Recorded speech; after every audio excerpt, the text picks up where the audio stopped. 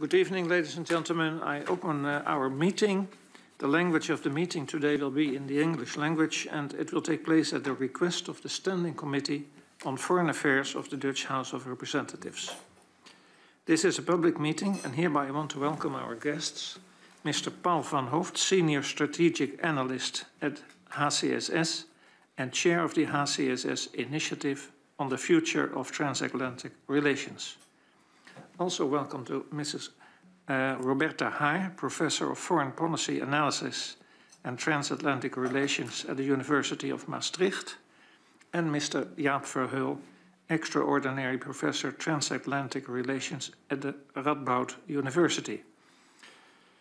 I welcome also the members of the Dutch House of Representatives. Um, two of them had to uh, cancel their participation because urgent reasons, so unfortunately they cannot be here. But we do welcome Mr. Brekelmans, VVD, and Mr. Van der Lee, uh, GroenLinks. Uh, my name is Raymond de Roon and I represent the Party for Freedom. Also, I welcome uh, anyone on the public gallery. Well, there is no one at this moment, um, but perhaps people are following this meeting at home, and I welcome them as well. I suggest that each speaker um, takes about five minutes for an opening statement, uh, and then after we had heard uh, the three speakers, um, uh, I would like to spend the rest of the time for questions and, uh, of the members of parliament and uh, the debate, if possible. Mr. Uh, Van Hooft, I would like to give you the floor now and ask you to use the microphone. All right. Thank you for the for the invitation. Um, so the midterms, I think there's a there's a few things we can say about this, um, and a few things that are still big black boxes. As in, there's a lot of there will continue to be a lot of uncertainty about this. So I would say that the results of the midterm from a from a European, from a Dutch perspective, are good. Um, and when I say this, I don't mean you know, regardless of whatever one's personal political preferences are, um, the this version of the Democratic Party is more interested in cooperating with European allies than this version of the Republican Party. Um, right? So and I'll go a little bit further into into that. But so on the whole, the, the results of the election, which would have either have seemed to, to have been a resounding victory for the, could have been, was predicted to be a red wave, which would have been a resounding victory for the Trump-like uh, Republican Party, uh, Trump-supported Republican candidates, uh, turned out to be actually something that was very, very much counter to the historical trend, which was even uh, small losses in Congress and actually uh, gains in the Senate for the Democrats, which is, for the incumbent party, which is unusual. So that does, at least at one level, that can be interpreted as a rejection of, of Trump-like Republican Party politics by the voters. Um, and I'm saying that not, you know, regardless of political, per personal political preferences, the Trump presidency was to put it mildly, rather problematic when it came to allies both in Europe and in Asia. I apologize for my voice. I was getting over a cold. so that being said, and, and where it's also good is that there doesn't, there, there will not be a paralysis within the Senate, so it's still possible to, to have some momentum, some forward momentum uh, for the administration, which in general, whoever was in charge is a good thing, I think given the amount of crises happening simultaneously in Europe, in Asia, uh, potential crises in Asia, and uh, still very much potential crises in the Middle East. So in this sense, this is all relatively good news. Um, what the results, if you look at them, also show is that some of these candidates that were fielded by the Republican Party were particularly bad, and still the margins of victory and bad, again, I think in a relatively objective manner. And still the, the margins of victory were pretty small for the Democrats. Um, and I think it also shows that the Republican Party, which is still, you know, which has historically been a very uh, political party, again, regardless of per personal preferences, which a party which has been very good and consistent on foreign policy, at least since, you know, the, the, the aftermath of World War II. and that party is in bad shape. It's it's been taken over by the fringe. Um, the it, it is the the party has not rejected. So it now seems in the process of rejecting Trump-like politics. Trump being Trump-like meaning this this constant polarization, this very toxic atmosphere, this you know dragging in conspiracy theories, accusing political adversaries, discounting the whole political process. It's, it's, the whole party seems to have gone in that direction, and maybe the poor results will change it, but that is still, I think, a big, big question mark. And the Republican Party, which historically has been good on foreign policy, has now become much less so. Um, so what does that? What does this mean for actual policy uh, issues? Um, I think we won't see any changes uh, on China. The China policy is the one thing I think in this highly polarized, this this high, highly toxic political environment is the one thing that uh, Republicans and Democrats have agreed upon for the last few years, and I think they will continue to agree on.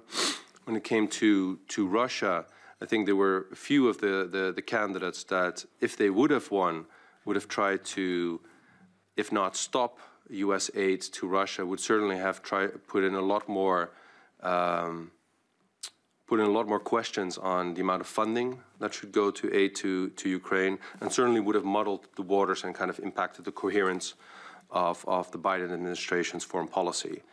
Um, I think it will be difficult, given the distribution of, of Congress right now, is to pass meaningful tech technology legislation I think that will be more difficult. There seems to be both agree in a sense of, of trying to hamper China's growth and access to technology.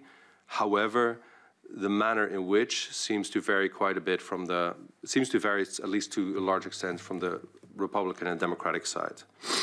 Now, there's also, I think, larger trends that are still going on. Uh, if you look at just recent opinion polling, um, there's a 40% uh, of the US public um, thinks that the US has too many military commitments. It is too involved in military conflicts. 30% uh, seems to be even about it, and 20% would, would encourage more involvement. But I think the trend, unlike what the political parties in, in power generally do, the trend is very much against that. And why I think that matters is because we, what we do see with this Congress, which I think has the largest or one of the largest waves of fairly young politicians, members, in, in a very long time, is that younger generations, whichever side of the political aisle they sit on, have less affinity with Europe specifically. Right? There's, we had a, in the first part of the 20th century, there were multiple waves of migrants, uh, most Americans were, you know, Irish hyphen Americans, German hyphen, whatever, a lot of hyphen Americans. And I think that kind of identification or kind of interest even in Europe has, has declined quite a bit over the last 30 years. And, and you can tell that by, you can tell from the members of the Senate Foreign Relations Committees and so on. So, you know, the, the, the John McCain's, the Joe Bidens are kind of a last of a certain breed. And I think that's, that's something we should also keep paying attention to. Um, and it's hard to know exactly how to interpret the results. Is this simply because there's an a, a cumulative effect of all the scandals surrounding Trump and the candidates he preferred? Is it a desire for stability? I'm not sure. I think that's still a big open question mark. And judging by a lot of opinion polls, judging by still very enthusiastic support for uh, not Trump, may, maybe not so much for Trump himself, but Trump 2.0 like candidates like like uh, DeSantis. I think this is still a long-term structural trend we should keep paying attention to. Um, I hope that covers a lot of the, the big ground. Thank you very much, Mr. Van Hooft. I'll give the floor to Ms. Haar. Mrs. Haar. Thank you very much. Thank you also for the invitation. It's lovely to be here. And I apologize that um, my Dutch is not better that I couldn't articulate these ideas in, in, in Dutch. But I have uh, provided a position paper for you, and I will draw my remarks from the position paper. It is also drawn from an article that I wrote for Atlantic Perspective that was due on the 18th of November that will come out um, shortly, I guess. But it was very clear to me in the fall that the, these midterm elections were exceedingly consequential, or there was very much interest here in the Netherlands for these elections, more so than other uh, other midterms that since that I have been here in the, in the Netherlands. And this is also very clear. I was at a, a dinner hosted by the U.S. Embassy in, in Utrecht, and actually Jaap, uh, Professor Ho was up there also. And it's very clear, the table there, talking about how much interest there was uh, in the Netherlands for these elections. And of course, the big reason that Paul's already mentioned is Trump, and would he be the kingmaker? Would his um, MAGA Trumpian isolations, and we had a discussion on what isolation means in this in this regard. Would they win? Because many of the candidates in the primary selection series really were Trump candidates, um, and so that's really a concern of what would that mean if they would win. What does that can mean for America? And American democracy. I was part of a John Adams Institute uh, discussion on the 10th of um, November, right after elections, that was really focused on democracy. What does the what do these elections mean for democracy, but also foreign for foreign policy? And I think that uh, leading up the summer and leading up in, into October, there really was quite a roller coaster of what would happen with the election results. Uh, and it looked like there were there were three things that really helped the Democrats um, namely the, this, all the evidence that was really coming to fore of all the crimes that, that Trump had committed and with the, the, um, the different indictments that he had, also the January 6th committee, and also the things that were found at Mar-a-Lago. All these things were gaining some traction in America and how American public feels about that, felt about that. But also, um, the Democrats, Joe Biden, seemed to suddenly be able to pass legislation that was linked to uh, his campaign promises, like the student loan forgiveness, uh, the Inflation Reduction Act, which also included um, a lot of money for climate uh, change, as much as 369 billion. And then, of course, what is relevant to the Dutch, and that's the CHIPS Act. He also delivered on that promise to stimulate supply side of the semiconductor industry within America and this also has relevance for a chip industry and, and ASML here in, in the Netherlands.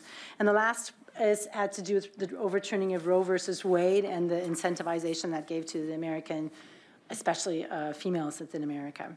And I think, ironically, the fact that um, Dobbs versus Jackson was successful, it really took a key rallying point for the Republican Party off the table. They couldn't incentivize their voters to go and overturn Roe or over do something about abortion because now they had achieved that and they had to go on to more divisive things like um, same-sex marriage or other other more cultural issues that are that were to, to, bring people out to vote. So, but I think October was sort of a whipsaw movement. You had the, the Democrats looking very good, but then you had four-decade high inflation, which really then put in a very stark relief, I think, the, the unpopularity that Joe Biden has across the American electorate. And I think also from a foreign policy point of view, what he tried to do against that when he went to the Persian Gulf and met with MBS, Mohammed bin Salman, all that was a failure, and I think also pointed to, let's say, the Democrats were not a good uh, party for foreign policy. But of course, we know the results of the of the midterm. But what do, what do all these things mean for foreign policy? I'll say a bit more about that. And also, I think, uh, in particular, Ukraine. Uh, and I do think that it, uh, it is quite um, historic that Biden really did decide to lead an inter international coalition to support Ukraine. And I think in taking this leadership mantle, Biden prevailed over isolationist tendency or neo-isolationist tendencies, re, uh, restrainers, we used that word a little bit the, uh, earlier today, this sentiment in his own party.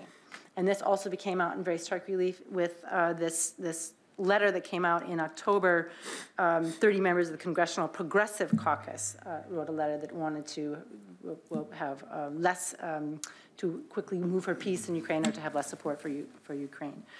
Um, and I think that the U.S. has played a key driving role uh, having to a unified response to Putin's aggression. I think he's been very good at holding the countries NATO together uh, also to send military aid for Ukraine. I think that that's very clear what happened also with Germany, what it's recently done in its uh, de air defense missile systems, and also the Netherlands, which I'm sure I don't need to tell you because you'll be very aware of the, of the air defense uh, missiles that you have uh, supplied for Ukraine. But I think that uh, we, Paul mentioned China. I think that Xi Jinping and Putin together with their no limits partnership that they put together accomplished the impossible in Washington, and that was to get bipartisan support for Ukraine. Um, I think that both parties realize that Ukraine is, is an issue that's too important to be subjected as a wedge issue, as a, as a polarization issue for politicization, for electoral gain. I really think there's a lot of abortionists that way too, that it really are, they really are issues that can be used to gain um, some sort of electoral advantage to trigger different parts of the electorate. So I think that Ukraine was an issue that was not that way, that, that they was not subjected to that.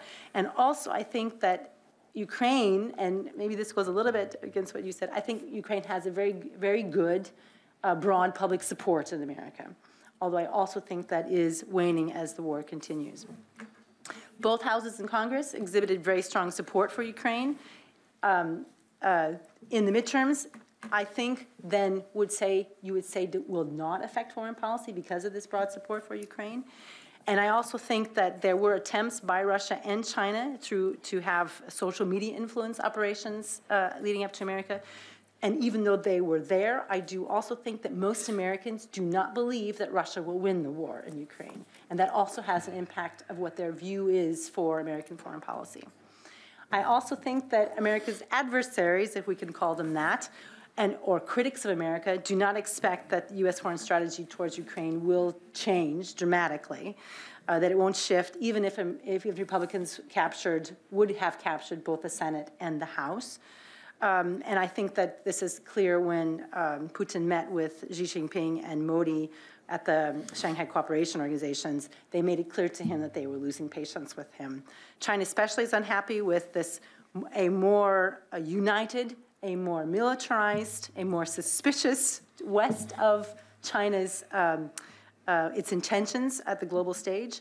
And I think that's also very clear in the October meeting that they had, the EU 27 ministers that gathered in Luxembourg. And they very clearly said in the statement that China is an official, not only a competitor, a strategic competitor, but a tough competitor. But I do want to end my remarks now on, on the, the problems of Ukraine fatigue. I think that's a very real problem.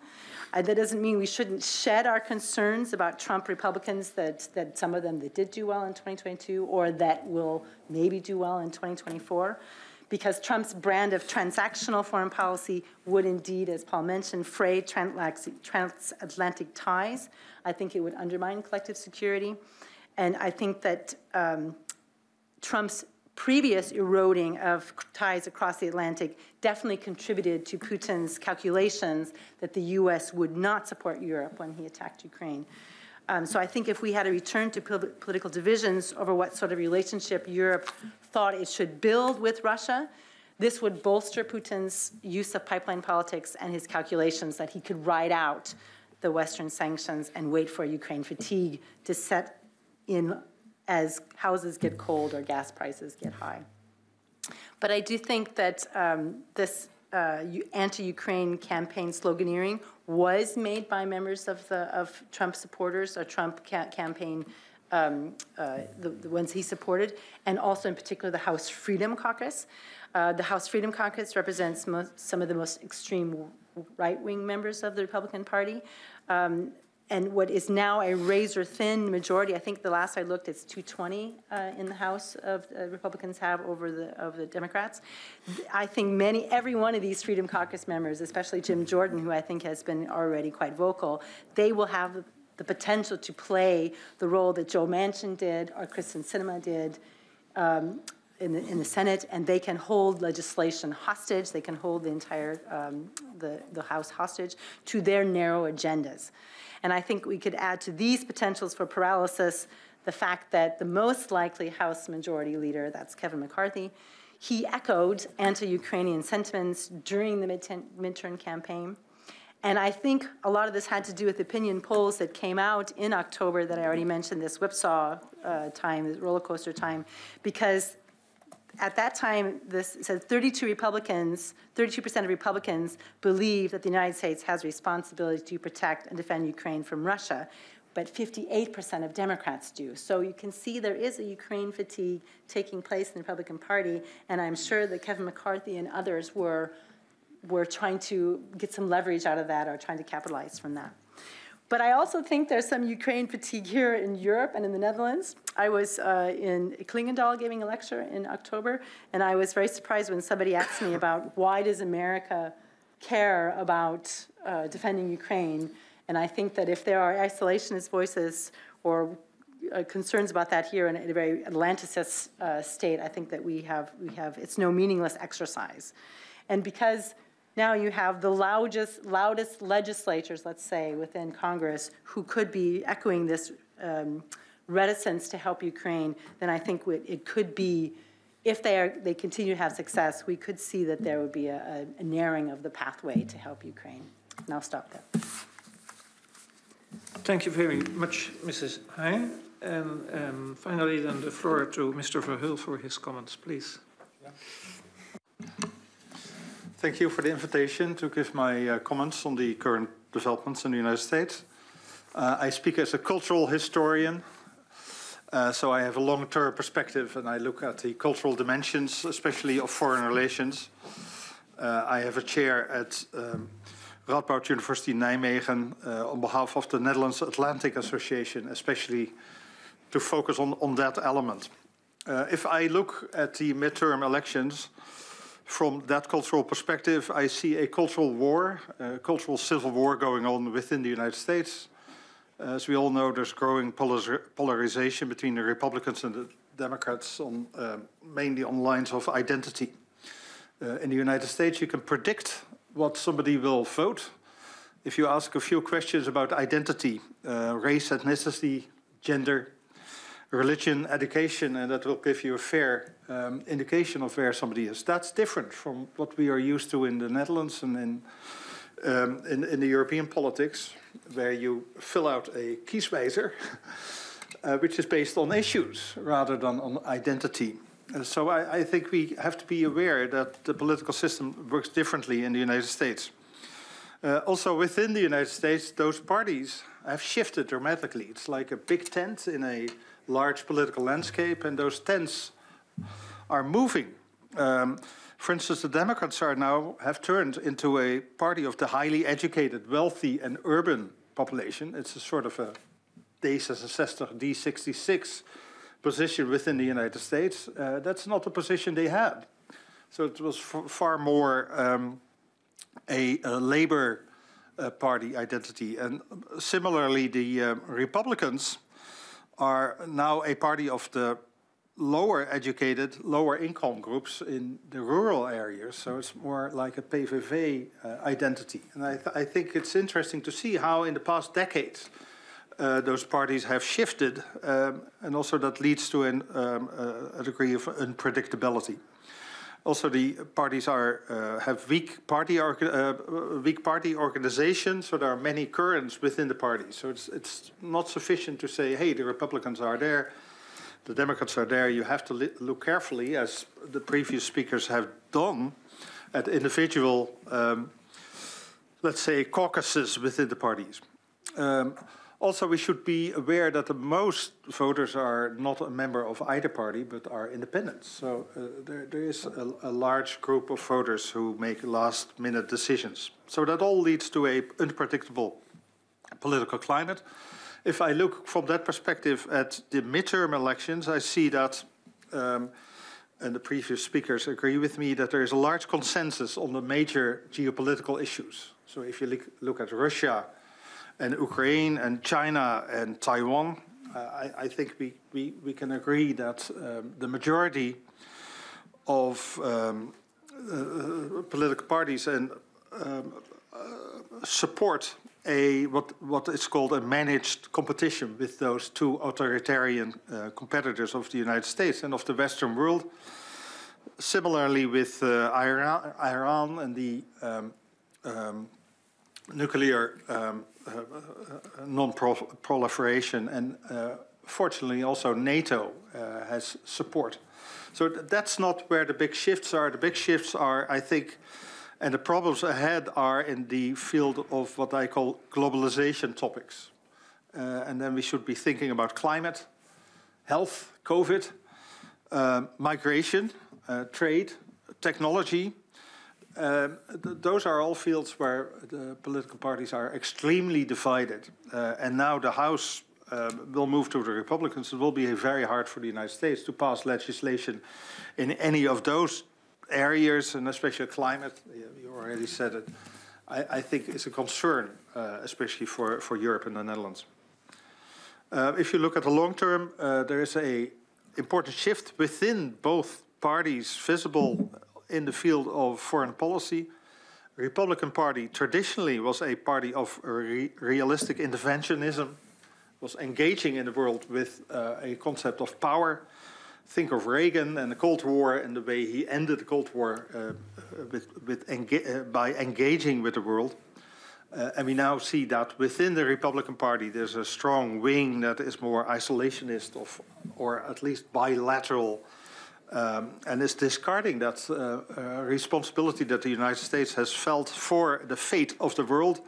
It's now America first, uh, and if not America first, it's, uh, uh, um, it's econ uh, an economy-driven unilateral approach that we see within the Republican Party.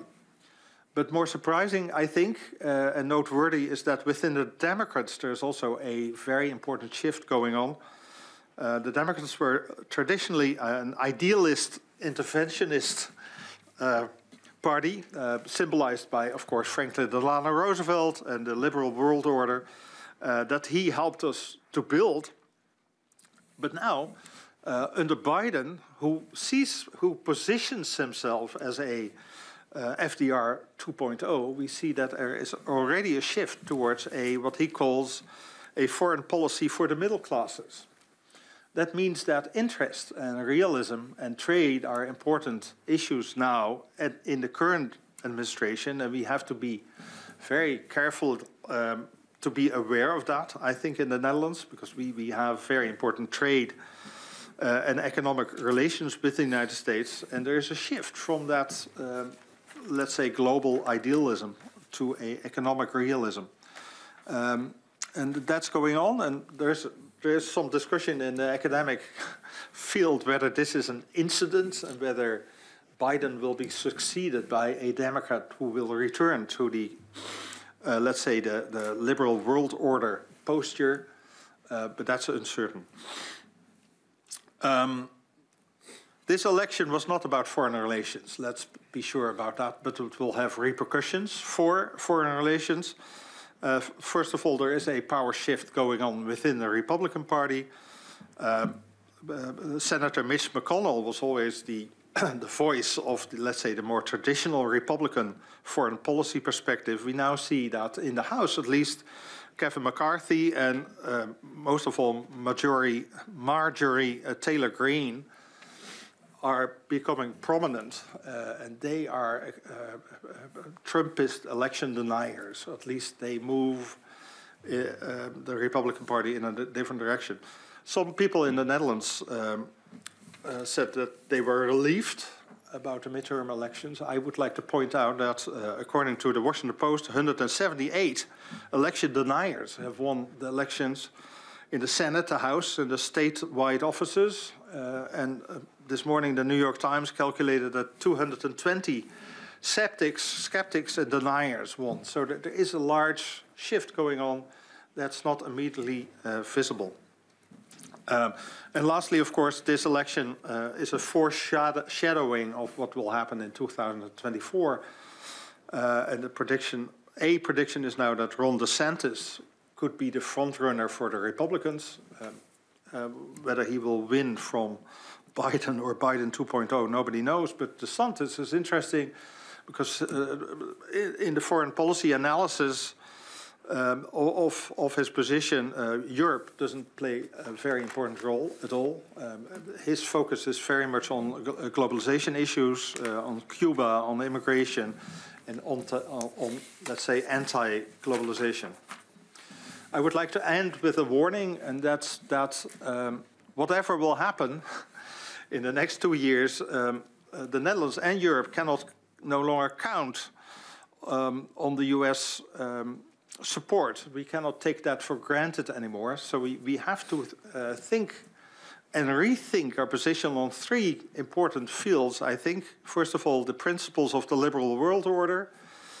Democracy, the rule of law, human rights, and freedom are not um, values that are only supported by the United States. They should be values that are supported by us here in the Netherlands and by Europe.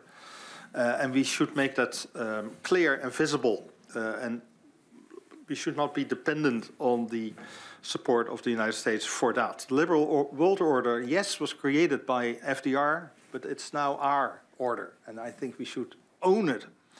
Secondly, I think collective defense uh, is a growing concern, especially the relation between NATO on the one hand and the EU. And the EU defense identity, as it's euphemistically called now, uh, is, a, is a source of concern. The demarcation between the two organizations is uh, uh, a uh, constant um, a debate going on. Also in the in the last NATO um, strategic concept, there is an interesting paragraph about that where the EU is described as a partner, which is interesting because there's also an overlap. It's almost as if the EU is out there. Uh, I, I, think that should um, give us source of concern. And then lastly, there are all those globalization issues I think we should own as well. Climate, COVID, migration, uh, and, and, the way we deal with that is not something that we should leave to the United States. Uh, in concluding, uh, I think we should not be saying goodbye to the United States. Uh, quite on the contrary, we should not be looking at a post-American Europe, as somebody predicted uh, not long ago. But uh, I, I, think we should become a more equal and therefore more sustainable partner of the United States. I thank you. Thank you very much, Mr. Verheul. Then we will now go to the uh, side of the members of parliament uh, and their questions. Um, I suggest that um, each of you asks uh, two questions. If possible, indicate who you would like to answer. Um, and after the questions were asked by the first member of parliament, I would like to ask for an answer immediately. And then we go to the second uh, member of parliament. And if time av is available, I will also add some questions. Mr. van der Lee. Thanks, uh, Chair, and also thanks very much for your introductions. Um, interesting to hear. So uh, I think we can all agree that the world is in turmoil, and uh, we see a lot of roller coasters everywhere. So, uh, so my first question would be uh, given the analysis you have uh, yeah, just uh, presented, is it just a, a, a, moment in time that was more fortunate for the Democratic Party than previously expected? Or are there also some more structural changes going on? And I, I mean more in the demographic uh, development of the United States that could favor one of the two uh, parties. Uh, I think one of the the, the facts is that uh, especially younger people uh, came uh, to the ballot more than uh, usually. Is that an incident or is that maybe a trend? so I would like to hear, yeah, maybe from um, Mrs. Haar, if she could elaborate a bit on that issue.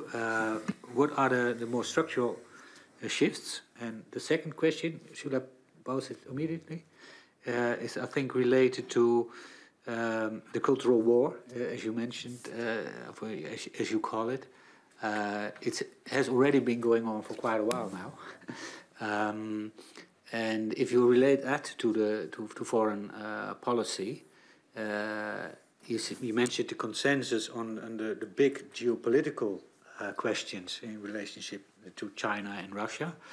Uh, but what, what are the, the, the, issues that could be uh, a vocal point in the cultural war uh, uh in the next uh, two years towards the next presidential elections? and maybe that Mr. Verheul can, can explain that. Thank you, Mr. van der Lee. Mrs. Haar, could you respond? Yes, thank you very much for that question. Um, I, I, I have a little disagreement with some of my, my fellow panelists here, and I, I thought we might talk about this. So I brought this. It's after the elections, I gave several presentations about explaining to American, explaining to Dutch audiences why Trump was elected. And I think this, this map I have here is a very good explanation of why that he's elected. And this map is a county map of all the counties in the United States. And it's a map not based on sort of size, but size that they contribute to the overall economy. And you'll see that there are um, 500 counties that voted for Biden. But these 500 counties represent 70% of America's GDP. But there were 2,400 counties that voted for Trump. And of course, they then represented 29% of the GDP. And I think that's, that's the real problem in America is there is a big part of America that feels left behind, that feels that the coastal elites, and I come from that part of America, I come from South Dakota, and when I go home, you see that the main streets in there are crumbling and that people feel like somehow they're left behind and they want to have jobs with dignity and they feel that globalization may be benefiting well, all of America, but the, the cost or the, the pain of globalization is felt very much in the Rust Belts. And, and many of these counties are in those swing states that voted for Trump. And there's another number that Democrats don't like to hear, and that's 9 million. There are 9 million Americans who voted for Obama in 2012, and then they voted for Trump in 2016. And that's very clear that they're part of this group of people who feel that they are structurally left behind. I think that's the real key to it. Indeed, there are more, I mean, in the last election, presidential election, more Americans voted than ever. And certainly in the midterms, the last time when Trump was president, that was the highest midterms ever because people were very upset about, let's say, the attack on democracy or the way that Trump was president because he wasn't, he doesn't care about policies, he cares about Trump. But nevertheless, there are all these 74 million voters who are still backing him. That's why you have 220 deniers because they're still, I mean, the Republican Party, Paul said that's in bad shape, but it's not in bad shape if you if you want to capture power. If you have 74 million voters who are willing to come out to vote for you, the chances of reclaiming power are pretty good. So you have to be the other side that has to then um, trigger or be meaningful to also capture the vote, to bring the other people to vote, and whether that's Roe versus Wade or guns, because most Americans want to have gun control laws. Most Americans want to have a right to, to make a decision about your own body, whether to have an abortion or not. But, but it's still captured by the fragmented system in America means it's also captured by more special interests. So I think, do you, I don't know if that's quite the answer that you were expecting, but I think structurally America is, is a pain, a, a part of the society is feeling economic pain. And actually, I think that Joe Biden realizes that because some of the things he's trying to do and the things that are actually controversial with Europe, and I don't know if I completely agree about that America will no longer need, you can't look to America for support anymore. I think that's, I have to say, I disagree with you. I think the, the support that America's given Ukraine certainly shows that it is very willing to be out there leading globally at an international structure. But economically, it definitely wants, it, Biden is changing tack. He definitely wants to say, we're going to invest in America, and we're doing that because we see the big challenge on the, on the stage is China, and we have to invest in all those people who don't have jobs, those people who didn't vote for him. We're going to re, restart America, and that's how he's doing. And of course, but that's in direct conflict with the partners you have for your, your global economy, and that's Europe. And that's why you see that Macron and Scholz, although they may not get along with each other very well, they certainly agree on that the U.S. Is, protect, is practicing protectionism and they will be taken to the WTO. So I think the things that America is doing to try to address this problem will be maybe the future fraught relations that you have, and that'll be in the economic realm, but not in the, the support for democracies or support for security. Okay. Thank you. Mr. Verheul. Thank you for the question. Indeed, uh, the cultural civil war has been going on for a while. It started, I think, in the mid 1960s with the civil rights legislation and with the um, the uh, the emergence of identity politics and uh, with what uh, the Dutch intellectual Hofland once called the decolonization of the citizen. That that's of course what the uh, large revolution of the 1960s um, delivered Uh, and that's, I fully agree with the previous speaker, Professor Haar. That's what the uh, current right-wing conservatives are fighting against. There's a sense of loss of a society that they felt they knew, and all of a sudden is uh, unmoored and uh, unhinged. Um, but uh, yes, it's going on, but the political translation is now um, uh, leading to a growing polarization. There is there's interesting statistical research to the way the uh, the, the, parties are drifting apart, uh, and the, the, disappearance of um, uh, uh, bilateral coalitions between the, the, two parties, that's disappearing. I, th I, think that's the change now. That uh, the, the, parties are moving um, further apart from each other, and it's very difficult to to find common ground anymore.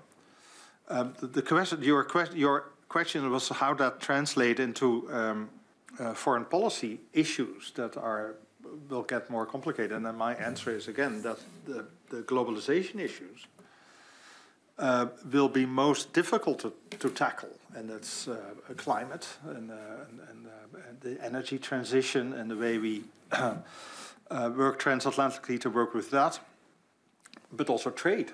free trade was one of the centers of the liberal world order. It's no longer a given. I think that's um, a field where we should ne negotiate. But I, th I think another um, victim, let's say, of that cultural civil war is that we now live in a post-truth society for many Americans, and that we also have to um, renegotiate the, the basic facts from which we argue, and especially in the field of climate.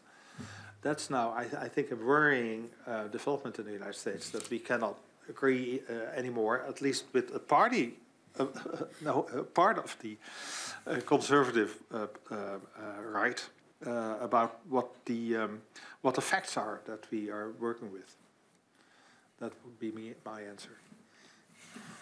Mr. Van Hooft, you would like to comment as well? Yeah, Please just uh, just very very briefly. Um, so I do. is the Republican Party in bad shape? Not in terms of can it win elections and get votes, but in terms of having a coherent policy program. I don't see it having that at, the point, at this point. And when it comes to those those districts, I, I, think that that is correct. There's a there's an urban the urban rural divide. There's a, a coast versus the, the the middle divide and the south divide. That all being said, if, when the question was, what will you know, will the long-term demographic change essentially help the Democratic Party? Um, this election so young people don't, young Americans don't really go out to vote. It might have been simply the accumulation of the, the loss of abortion rights, attack on gay rights, just enough, enough big kind of pushes to get just enough voters in there. Um, so I'm not sure, you know, if that's necessarily is an optimistic story from a perspective of if you'd want to see the Democrats win, if this really shows a very optimistic story. Um, with these cultural uh, cleavage issues that is still primarily works the, to the benefit of the, the hardliners on the Republican Party. So in that sense, the Republican Party is kind of held hostage by, its, by the, the far ends of it. And also when it comes to certain other kind of demographic changes, there's also interesting like sub-trends where you can see shifts in, for example, in the, in the Latino demography that have actually moved to the, you know, still predominantly supporting Democrats, but also in, especially in key districts, especially in Florida, kind of moving to, towards the Republican Party. So it's it's a, it, and finally, if you just look at the the supporters, the supporters for Trump, a lot of them were actually quite wealthy, right? People went to the January 6th protests with their private jet. You had you know you had people with you know higher educated uh, you know, you had the dentists, lawyers, you had people who own businesses. I mean, there's a bit of a cliche, a bit of a classist, I think, cliche that everybody who supports Trump is somewhat, you know, backwards and, and, a hillbilly or something like that. But that's not clearly not the case. It really draws a lot of support, as it does, uh, as populist movements all over the world do. They draw a lot of support from also the professional classes. So, just to nuance that that, that point a little bit. Thank you very much. Then I would like to hear the questions from Mr. Brekelmans, please. Yes, thank you very much for your uh, your introduction and also your very clear uh, answers. Um, actually, I would like to ask a quick question to uh, to each of you, uh, if, if, that's okay. Uh, very quick. Um, one one is about um, uh, the Republican Party to to Ms. Haar. Um, I think from the midterm election results, you could draw two conclusions. Either you could say the Republicans lost because uh, Trump's popularity is over, and you see that many of his candidates uh, kind of lost. Maybe uh, Trump and Trump uh, supporters would say we lost because Trump was not in the race, and Trump is the only one that can truly win an election, and in the end, as a, maybe as a comeback candidate, can uh, um, can win um, uh, can win against the Democrats. Um, what, what, do you think? What sentiment will prevail? And do you think that Trump is kind of out of the game, or that there's still a lot enough support for him to make a, a true comeback? Um, I would like to ask a question to uh, Mr. Verheul about uh, support to Ukraine, because Ms. Haar, I think, rightly said that you see that there are, um, especially on the Republican side, but also on the, the, left side of the Democrats, that support for Ukraine is kind of uh, decreasing. Um, we were in uh, the United States, uh, we were visiting in May, and then there was still very broad support. And on both sides, uh, people were saying, um, for the United States, it is a, it's actually quite clear that there is a very, um, there were many reasons why there was so much support for Ukraine, but a few of them were one, um, it's it's a very clear case of good versus bad, or good versus evil. Um, it's different than in Afghanistan and Iraq, which was much more complicated. And second, that the United States could play a leading role, both in terms of intelligence and delivery of weapons. Um, so my question is, do you think that the decrease in support for Ukraine could really reach a turning point where there is indeed a majority not supporting more weapon delivery and, and uh, maintaining sanctions, or is it more like in the Netherlands that maybe on the, the far sides there could be a decrease in support, but there's still a big overall majority um, uh, which will maintain support? Um, and then uh, finally um, uh, to uh, Mr. Van Hooft. Um, I think uh, one of the speakers said that um, uh, that that we cannot count on the support of the United States. and what I'm try to figure out is what can we do in order to um, um, uh, uh, regardless of, of which uh, party will, will, will, is going to be in the White House, but how can we maximize the chances that there will be U.S. support uh, to Europe? And of course, as you mentioned, uh, the, the rivalry with China is the, the biggest concern for the United States. Do you think it's important for Europe to simply choose sides? to say, okay, we uh, will, will support the United States, whether there will be uh, technological sanctions like we have seen recently, um, because it, do you see the risk that if we do not choose sides, then the United States will say, okay, Europe wants to keep its independent uh, position, uh, but then, okay, we, we are not, uh, the partnership is not as strong as in the past. Um, do you think this, if, if we, if that's our, our strategy, that, that might harm our relationship with the United States in the long term? Thank you, Mr. Brekelmans. Um, let's take the same order of the questions. Mrs. Haar, Mrs. Haar, yes, please. Thank you very much for your question. I mean, I'm not, 100% sure, but I'll give you some good uh, guesstimates in what I think. First of all, and this also goes on with Paul said, clearly the elites or the professionals of the Republican Party do not like Trump. They haven't liked him from the beginning. They have tried to jettison him in the, in the primary process, they do not like him. He is not a Republican in the traditional sense of the Republicans, as has already been mentioned. But there have been, maybe you remember Billy Gate, when Trump said some very horrendous things about what he could do mm. with women and get away with it. After he said that, my senator from South Dakota, John Thune, who is the minority whip, that means he's second in command in the Senate after Mitch McConnell, he said, we should have a write-in candidate. We should not have, this man does not have the, the integrity or he has a value system if we want to be our president. Didn't stand for long. He, he still ran. He still became the president. Then you had, of course, the midterms when he was president, clearly lost. There was a blue wave. People thought, yes, we need to have a different person on the ticket when it comes around again. Didn't happen. Then you have January 6th, when Kevin McCarthy, the to be soon minority majority leader, called him up and said, "My family is in danger. We're here in the in the Capitol, and we're going to be attacked. Do something." And response that Trump gave was, "Well, they clearly care more about the election than you do, Kevin." So Kevin McCarthy also said Trump should not be the candidate or should not be the person in our party. But then, not long after that, McCarthy went down to Mar-a-Lago and almost like, a, like kissing his finger. So I don't know. There's been indeed three now losses. But he's lost and he's tried the patience of the professionals in the party several times. But, it, when, but if the base of the Republican Party want him, you will say all kinds of things and contort your arguments in all kinds of ways. And I think we mentioned DeSantis. Now, DeSantis is in office or was elected last time because he was so very obviously connected to Trump. It would be very hard for him to come out now and have some sort of, you know, regicide, let's call it that way, and still go ahead. That'll be extremely hard for him. And it's very interesting that Trump, even though he, the Republican Party didn't want him to, announce his candidacy before the Georgia runoff. So that's interesting that he doesn't care about, Trump does not care about the professionals in the Republican Party. So I think it'll be very hard for DeSantis, now that he's out there, to say, now I'm going to run against Trump. And Trump is positioning himself, and he'll belittle people. He's very good at being a bully on stage or catching people's weaknesses and making them look somehow small. So uh, those are all things that have happened in the past, and you have to look to the future about knowing what happened in the past. So I don't know, but those are the things I do know. Thank you. Second question was for Mr. Verheul, right? Mr. Verheul. Yeah, that, that's a very uh, good and difficult question uh, for me as a historian to do uh, predictions about what will happen to the support uh, to the war for Ukraine.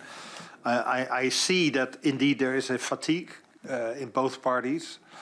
Uh, as Professor Haar said, 30 members of the Democrats wrote a letter to Biden saying that um, he should uh, start negotiating with Russia and that the boycott should, uh, should stop simply because of the economic uh, damage that it would do to their voters uh, and to the United States. How, however, the letter was never sent, or it was sent and then uh, uh, withdrawn. The, the, 30 members said that it was a mistake, but still, I see that as a, as a, signal that there is an erosion. And also on the Republican side, um, Uh, uh, uh, Kevin McCarthy and Marjorie Greene and other members have said that um, the focus should no longer be on, or at least that there should not be a blank check to Ukraine and that the focus should be on the economic interests of the uh, of the United States. So yeah, yes, it's possible that at the end there will be uh, pressure from the United States on the government of Ukraine to start negotiations. But that's, that moment has not arrived yet. So uh, it's very difficult to say. But yes, I, I see in, in, both parties that uh, questions are being asked. Uh, how, however, and I agree with, uh, uh, with the, the, the, first speaker that I agree that um, um, nobody in the United States would want Russia to win this. Uh, it's inconceivable that the United States would, uh, at this point, I think, uh, withdraw from that struggle. But but the solution could be a sort of a negotiation and, and, a sort of a midway. But I, I don't see that happening at the moment. Mr. Van Hooft. Yes, um, I think that's a, that's a that's an excellent, that's an important question. What do we need to do to engage the U.S.? Um, so yes, we should do things to engage the US. However, we have to also take a step back and first acknowledge that with, with the extent to which the US wants to stay in Europe and be engaged in European affairs is primarily shaped by what the US thinks, you know, US officials, US leadership thinks is important. It is only to some extent shaped by the signals we send. Right? I um, if you look at the just post-Cold War, um, what was the whole argument about NATO enlargement, uh, uh, proceeding or going together with NATO enlargement, that NATO should change its mission, it should go out of area or it would go out of business, the US would no longer care. Yet at the same time, when Europeans followed the US to Afghanistan, to, to Iraq, it actually paid off very little, right? Those were, you know, in absolute sense, for most of for most European countries, pretty small contributions. But in a relative sense, to you know, to to smaller countries, these are these were massive contributions. Are very difficult and very painful, you know, to to to explain to the public. And what did it actually get Europeans? If you if you look at the Iraq War, what did it what did Blair and the UK get for having near near to as I mean you can't support the, the US more than the British did at that point in time. And I was struck when I was uh, when I when I when I was in the U.S. and I, I, you know as a researcher and I would interview all these officials, and you would ask them, and then they would be this was you know 2013, 16, 18, 19, 20, um, they would be very criti critical of the British. It was like, well, yeah, but now they can't do anything anymore. Now we prefer the French. You know, it was very even not with you know not with the so-called transactional Trump uh, officials, but with everyone. That was just you know what have you done for me lately? And for the UK, that I think broke their armed forces for a good ten years. Um, so there is just a real risk. I think there's a risk in seeing this in a too simple a manner. As in, we'll show up, and then the then this will translate all the way into U.S. thinking.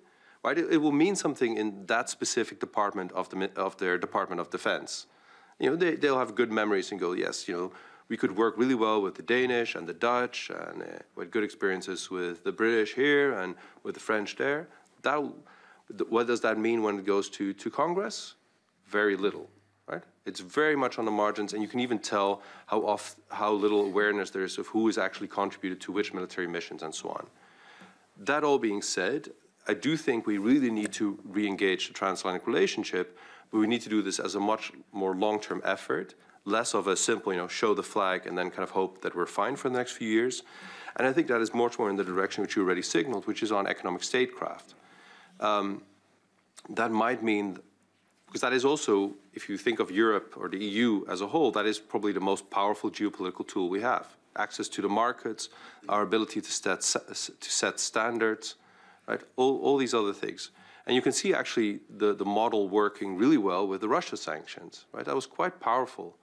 Um, I think that is something to really communicate to US administrations because the transatlantic relationship, for it to work, also should be accompanied with a, a change of mindset in, in Washington where it sees us more as an actual partner, which it doesn't, right?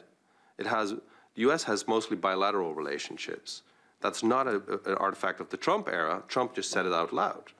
If you go back the last 30 years, every time there seems to be a bit of pushback from key European states, then there are bilateral missions that target specific, you know, smaller countries to kind of vote uh, to vote against whatever the, the U.S. doesn't want to happen. So I think economic statecraft is a, is a part of it, and that will mean something like choosing sides between the U.S. and China. And I think that's might already be a bridge that has already been burned. But even by doing that, there's still a lot, I think, of room to maneuver in there. Um, and to kind of also not just to, to essentially to dampen China, but to really use it, access to European markets as kind of a positive inducement, right? That is the same signal that also needs to be sent to Washington. Because what we see now is that we've gone from one extreme you know, the era of globalization, you know, everything is a positive, everybody wins all the time, to now essentially only negative statecraft, from economic statecraft from the, U, from the US, right? It's just sanctions, it's just export controls, it's just a sense that we all have to fall in line really quickly. I'm not sure if the, the US is helping itself. I was, last week I was in South Korea, and this is, South Korea is about as close an ally of the US as you can imagine, there's just deep, deep frustration, right? This is really going to hurt them economically. You know, what, where, to whom ASML can sell is also going to hurt us economically, right? So what I'm saying is the answer of how do we keep the transatlantic relationship going is also to put it on a more balanced footing because this, this whole sense of let's just do a little bit and then we'll just, you know, kick the ball forward for another five years and you know, we'll hopefully we'll get you know a, a nice president the next time again or not. You know, it, it, that is not that is not policy. That's not strategy on our part. We should really do this as a, in a much more comprehensive way, using our market power, um, and also that has both directed at China, but also directed at the U.S. itself. Mrs. Haar. Yeah, maybe I would give the, if you ask me that question from a US perspective, what do you need to have that part of the transatlantic relationship? Because I think Paul did a very good job of thinking about what you might expect from that. And I think the, the whole ASML thing is going to be very interesting in the near future. But I, I wrote down two things that Americans would say. First one is have a strategy for Asia, have a strategy for China that is aligned with what America have have a role to play in Asia because that's where America's looking. Whatever the national security strategy just came out um, at the beginning in October, and it and it was supposed to come out in February, but it didn't come out in February because we had something else that happened in February. So they kept it for for eight months or whatever, and in five months, and rewrote it and to include Russia because the first one only was about China. America's only looking and thinking about China. So if you want to have something to do with America and strengthen that relationship, they will want you to come aboard. That's it. The second thing that I wrote down was support Ukraine in, in really meaningful ways. I, I did some did a search of what the, the, the current um, commitments are to Ukraine. And the US, as of October 3rd, what they've already committed is 52 billion. And in the, in the lame duck period, they probably are trying to get another 30 that's, that's actual going out the door. And EU, compared to that, is 16 and then the other countries that have in the billions is United Kingdom 6.6, but you said it broke it maybe? No, or, or, or something else. Okay. Or Germany's three, Canada three, Poland nearly three. But then you get down to the Netherlands, it's also 500 million. So if, I mean, this is what America's also thinking about. We have this, this adversary that we need to, at least if not make sure we win with Ukraine, at least we get to some place that, that they're not, the Ukraine's not losing. And to get to that place, we're going to need to have Ukraine has to more support. So America's thinking that. I know Biden administration is thinking about that. And if you want to have something to build transatlantic relations, the Americans will say, "Come aboard." Well, thank you, Mrs. Haar, for your additional comment. That gives a different perspective. Um, unfortunately, we have come to the end of the time that we have for this meeting. Um, I would like to thank all three of our guests very much. You brought forward points of view that help us structure our ideas and views on this issue. And uh, then I would like to wrap up the meeting. Thank you very much.